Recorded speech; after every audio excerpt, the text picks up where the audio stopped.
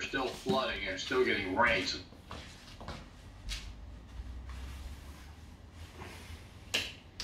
아, 네, 안녕하세요.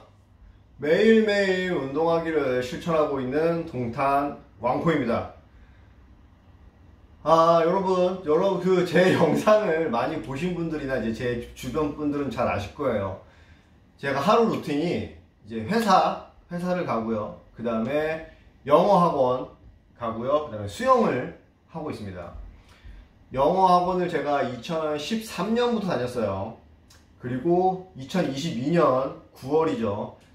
횟수로 정확히 10년이 됐습니다. 10년. 제가 드디어 영어 오픽 AL 등급을 받아냈습니다. 네. 제가 이제 가끔 영상에서 얘기했습니다. 뭐 다음 주에 시험이다. 뭐 다음 주에 시다. 올해 지금 제가 테스트를 시험을 한 세 번, 네 번 봤을 거예요. 아, 드디어 AL을 받았습니다, 여러분. 영어 학원 10년 다녔습니다. 어, 이 다음 목표는 뭐냐면, 사실상 AL을 받았다고 해도 그렇게 막 영어가 유창한 건 아니에요.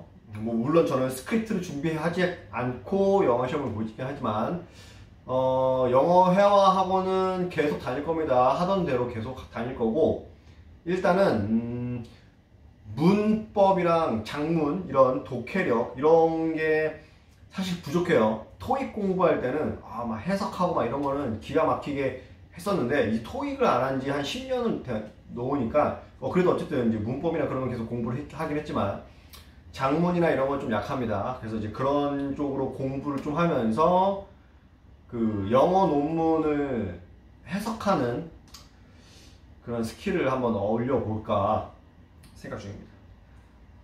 어쨌든 자 어, 오늘 원래 수영을 갔다 왔어야 되는데 저의 스위밍 버디 분께서 오늘은 약속이 있어서 같이 수영을 못 가겠다. 그럼 나도 안 가겠다. 그래서 저도 오늘은 그냥 스트레칭 어, 집에 와서 너무 잘 푹, 푹 잤어요. 일단은 스트레칭 조금 하고 팔굽혀펴기 조금만 할게요. 아 여러분들에게 오픽 AL을 받았다는 그 소식을 전달 드리기 위해서 영상을 찍고 있습니다. 자 일단 운동하겠습니다. 역시 운동할 때 CNA죠. 지금 미국에 허리케인이 엄청 큰 게 왔나 봐요. 지금 어, 온통 물바다가 됐습니다. 일단 이안 이안이라는 허리케인이 왔나 봅니다. 네, 일단 CNN 시작하죠. Speaking to a doctor from that hospital next. 아, 병원도 다 잠겼네. The new normal, where we reimagined our offerings and reinvented our businesses. A world where change is the only constant, and where speed and cooperation have accelerated exponential thinking. Where the power to convene instantaneously and universally is reinforced by technology. Where collaboration is the foundation and where ease of access and seamless connectivity are the norm. Where talent is recognized, achievement is celebrated, and business always has a seat at the table. Where success lies in our ability to look at the bigger picture. Where advancement is the only accepted mindset. And as we take a step forward, it's time to say, join us, make your mark. Welcome to Oh. the pioneers, the 맞아, path 여러분, definers and 폼룰러가 the game 짱이에요. changers amongst 폼룰러 us. 집에 Welcome 있어야 to 돼. a place where business as usual is anything but. Welcome to Dubai.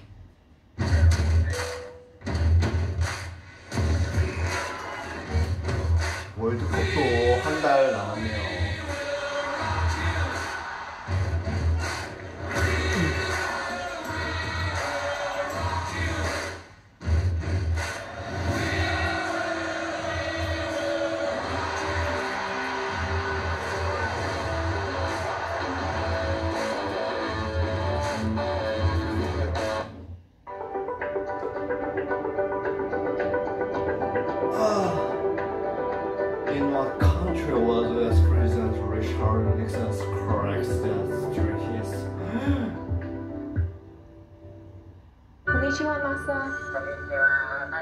Meet the leaders of business, sport, technology, culture, science.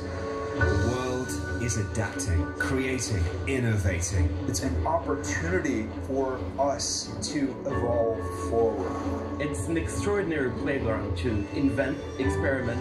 From every corner of the world. Right here in Japan. We call ourselves farmers and futurists. Learn how to build a better future.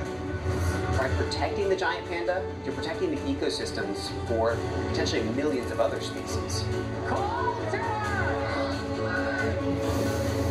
Discover new places to explore.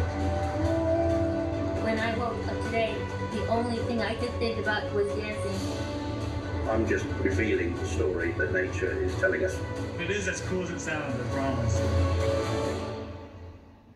Explore the hidden treasures of Cappadocia, Turkey. How people lived here still amazes me. Go behind these walls for a glimpse of ancient history. 9,000 years ago. This is a very big deal, actually. Journey over and into a magical landscape to uncover its secrets. It really is wild and unique.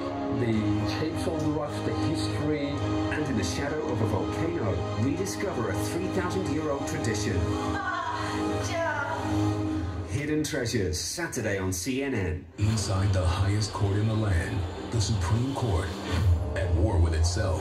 They not only aren't getting along with each other, they don't like each other. The end of Roe v. Wade. An act of institutional suicide. There's no surprise that confidence in the Supreme Court is at an all-time low. America losing faith. And why would they not? What's next? First time in history. Fareed Zakaria reports Supreme Power, Monday on CNN. CNN covering the world's business.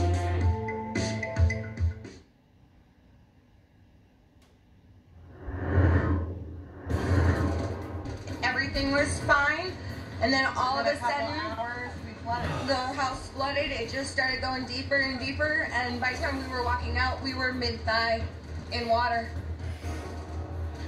That's a resident from South Venice, Florida.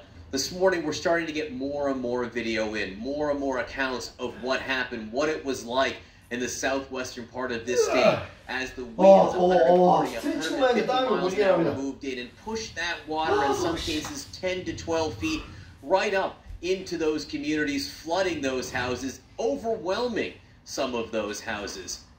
Two and a half million customers without power in the state of Florida at last check. But let's get an update on that. I'm joined now by David Reuter from Florida Light and Power. Dave, thanks so much for being with us. Uh, how many customers at this point in Florida without power?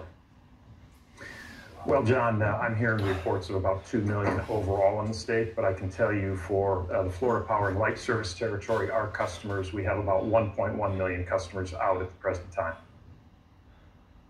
Okay, 1.1 million of your customers, up to 2 million statewide. And do you expect more as this storm continues to move into Orlando and other populated areas with a lot more rain? Will this number grow?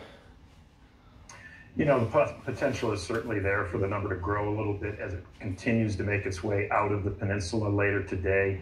Um, obviously, we've already been restoring power to customers as we've been able to safely through different bands of the storm. Uh, since the storm began, uh, we've restored power to more than about 700,000 FPL customers. Uh, in fact, overnight, where we were able to get to safely into the west uh, part of the state, we restored power to about 150,000 customers in those western regions. It's amazing that there's still 1.1 million customer users without power, but you've been able to restore 700,000. It just gives people a view of the rolling nature of this. More gets knocked out, you get more on, and that's just the way things go. What are the challenges? You talked about the southern and western part of the state. What are the challenges for you there? Because we saw some of these communities under 10 feet of water. How, how do you get the power back up in places like that? So we're going to find out uh, today exactly what the devastation looks like, uh, what we're up against in terms of uh, the damage that's been done to the electric system. Um, you know, as light comes on, uh, we're going to have crews out there as soon as it is, as it is safe to do so. Uh, we have to wait until winds get below about 35 miles an hour in order to do that. Um, but once we're able to do that, it should take about 24 hours for us to have an assessment uh, of the extensive nature, or maybe not so, uh, in certain parts and then figure out where we can start uh, re repairing the power. You know, our goal here is to get the power back on as quickly as possible, but most importantly, we're going to do that safely.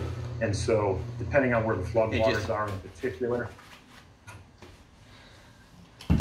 I just didn't mean to interrupt. In terms of expectations, days or perhaps weeks for some people, I imagine. So our, our hope would be that uh, we could do it for day, you know, in a matter of days for those customers that were able to get the power back on, we're able to get into those regions. But uh, if this is a rebuild, you know, if we go in and find out that we're not just looking at stringing wire um, and uh, and drying a few things out, um, you know, this could be uh, a matter of weeks, depending on how extensive the damage is on the West Coast. David Reuter, thank you for explaining the situation to us. Uh, wish you the best of luck in the days ahead. Thank you, John. Brianna?